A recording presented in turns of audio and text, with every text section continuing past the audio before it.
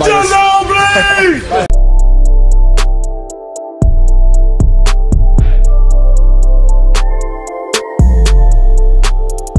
What up, JP Nation? It's your boy JP. A little under the weather today, but I'm back with another reaction video. This time reacting to YounGala's video, NBA Legends and Players explain how scary good prime Manu Ginobili was. He was a bucket. He played with the San Antonio Spurs, one of the greatest dynasties of all time, and very underappreciated, very underrated as an NBA player, but a legend when it comes to the Euro League. If you look at the uh, look at the highlights and awards, four-time NBA champion champion, two-time NBA All-Star, two-time All-NBA third team, six man of the year, uh, rookie second team, uh, Argentina's jersey retired, um, number 20 retired by the San Antonio Spurs, Euro League champion, Euro League Finals MVP, Euro League Finals top scorer, Euro League first team, Italian League champion. The list goes on and on and on. Manu Ginobili, man, he was a buck. Not only he was a bucket, he had handles, he could play, man. He could do a lot of different things, man. And, you know, he is definitely a competitor at the end of the day. You could just tell he is a competitor. Probably the best Euro step I have ever seen. You know, you got Giannis, you got James Harden, Marciulionis back in the days with the Golden State Warriors, when he had, when he started coming with the European influence with Divac and Drazen Petrovic. But Ginobili had the best Euro step, and he placed it so hard as Steve Smith once said on open court, but it was so effective though. Before we get into this video, make sure you subscribe down below to It's Just JP for more basketball content. Click the notification bell. You will know when my next upload is. Comment down below and tell me what you want me to react to next and anything Manu Ginobili. Make sure you like this video at the end of the video. And one more thing before we get into the video, I'm excited to announce my new partner with BetUS. Here's more on that in this video.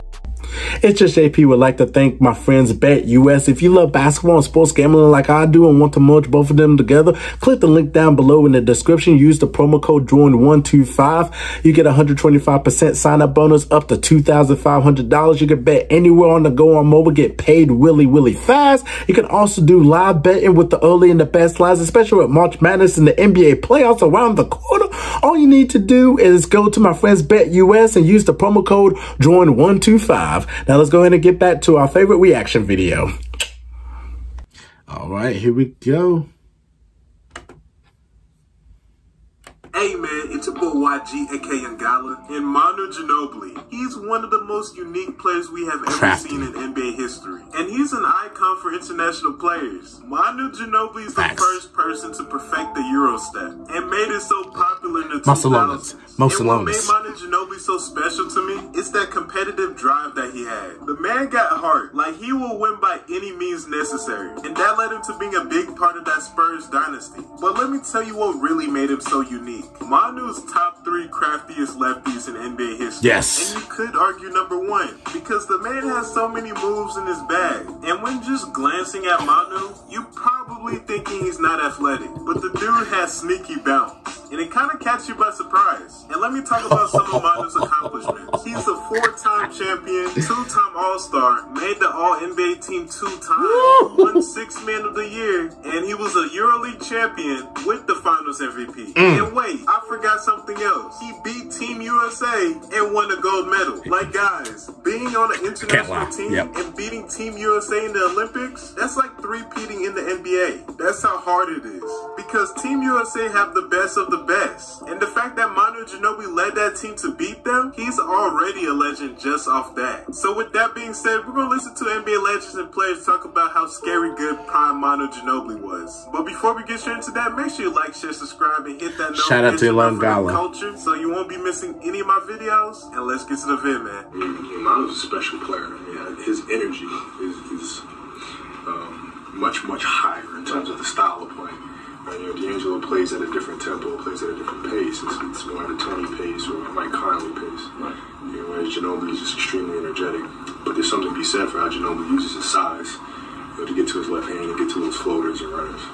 is really players' pace just kind of what is they come in with a pace, or do you see a player develop or change pace if they? Know, everybody has an inner rhythm.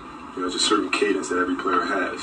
You know, you just you just see it. It's just the tempo that they play with. It's just um, The respect Kobe that's has for innate. Manu. Your, your tempo. How do you describe your tempo? Well, Manu, myself, you know, Westbrook, we all play with that very, very high, high motor. And we just R.P. Kobe. That's what we were born with. Uh, you know, Manu, man, it's just been fun playing against Manu. The first time I played against him, you know, he's uh, shocked the hell out of me. His competitiveness and his energy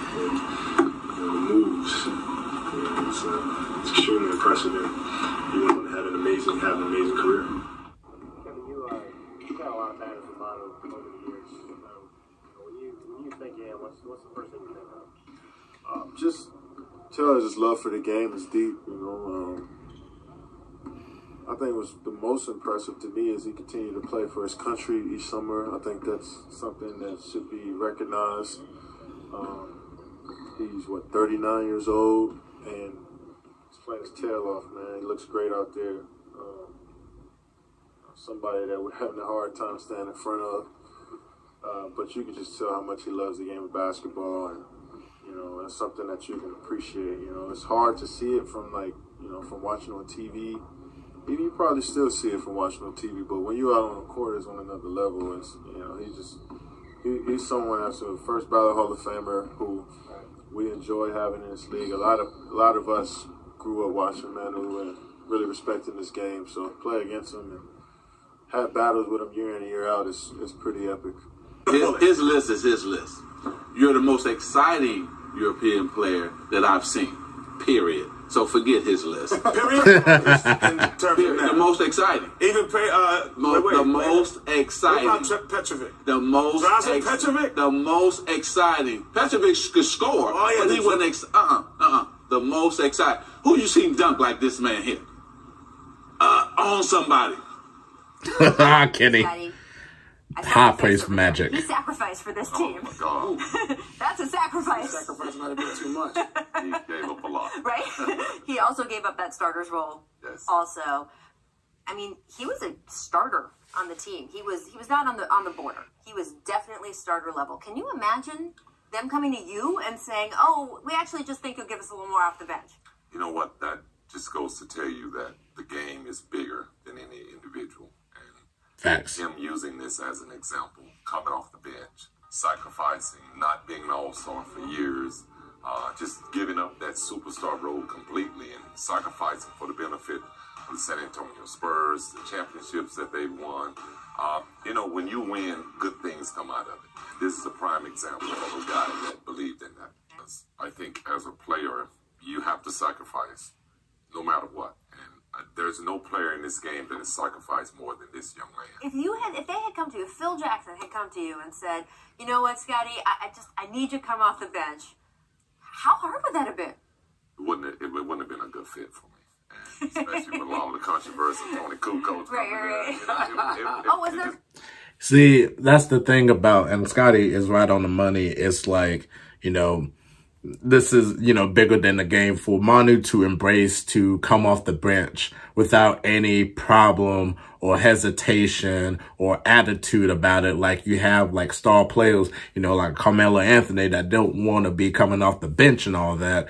And for him to just sacrifice that and just come off the bench, you know, instead of just like, it just shows you that Manu had no ego whatsoever. No ego. Like he was willing to do whatever it takes. That's what a mind of a competitor or a champion looks like is he'll do whatever it takes to win. To win. And for Manu to do that, man, hats off to him, man. Hats off. Who knows how many all-stars, who knows what would have happened if Manu didn't decide, didn't want to come off the bench. Who knows what would have happened though. But for him to do that, it just tells you just the dedication he has to win, to win the title. Controversy over that? I don't. it was I a don't little bit of remember. I, I just don't think I was cut out to be a player to come off the bench. Mm-hmm. I believe that I was cut out to be a leader, and that was a role that I only accepted. You can still be a leader coming off the bench. Did, um, I take my hat off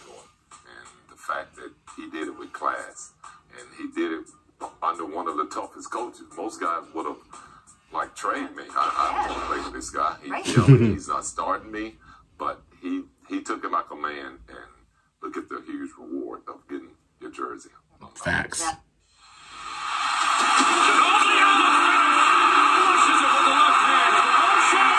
What a block. I remember that.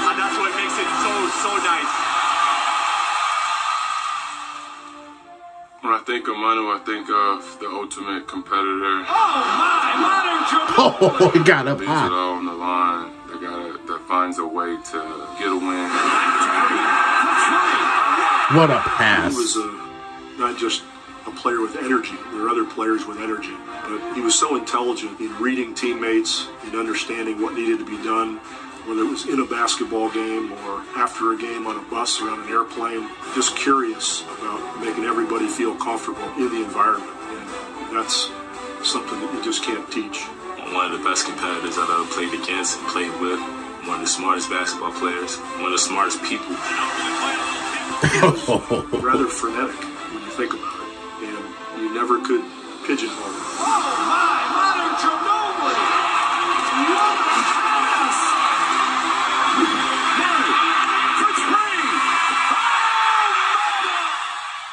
favorite memory of Manu, we were coming down the stretch and he took a long three and he made it. And it kind of closed out the game and it was just Manu being Manu. I remember us playing San Antonio in Toronto when I was with Toronto.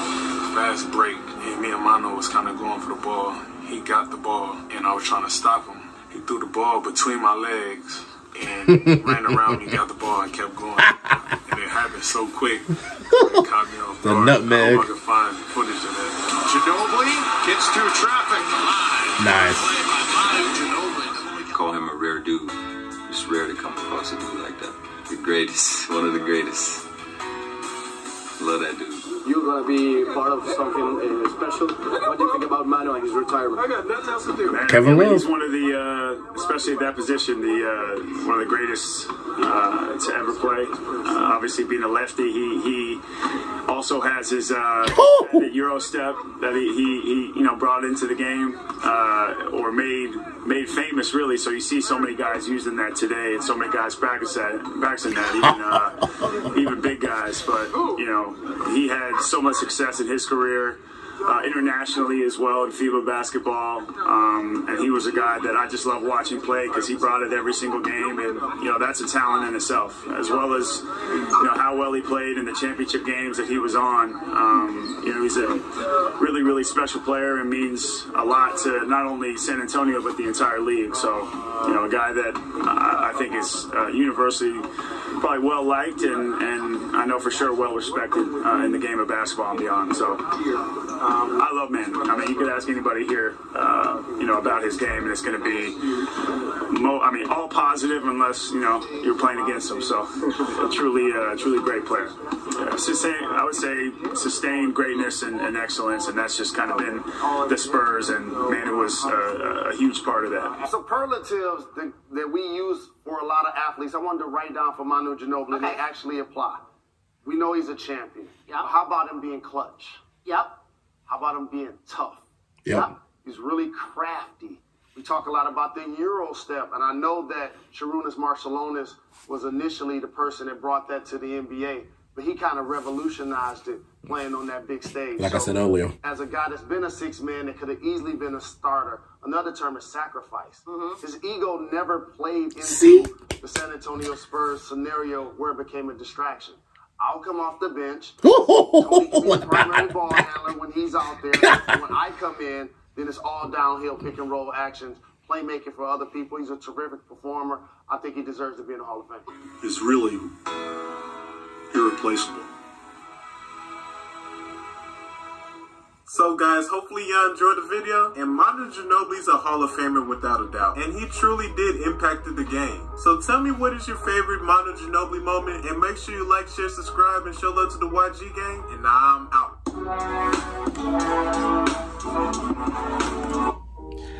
Man, I'll tell you what, man. Manu Ginobili, man.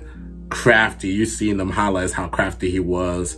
You know, the guy was clutch. When he's hot, he is unguardable when he's hot. And just the the passing ability that he has. Like, you know, coming in 1999, you know, and, you know, Popovich was, you know, criticizing him for being wild and crazy. Like, if you look at the beginning of his years, he was wild and crazy in terms of how he was playing. But, like, each year he like Popovich just found a way just to control his game but still be effective for that team. So shout out to Popovich for that though.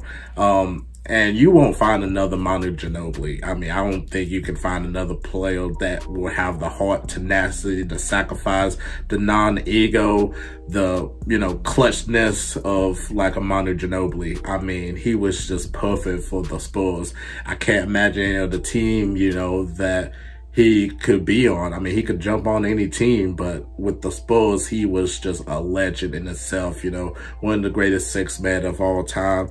Um, man, he was just a pleasure to watch. He was a pleasure to watch um, on the court as a real Hooper fan and everything. Um, so shout out to Manu Ginobili, man. Um, definitely comment down below and tell me your thoughts on Manu Ginobili. Uh, comment down below and tell me what you want me to react to next. Make sure you like this video if you like this video at the end. Subscribe down below to It's Just JP for more basketball content. Click the notification bell. You will know when my next upload is. I'm JP and we out of here.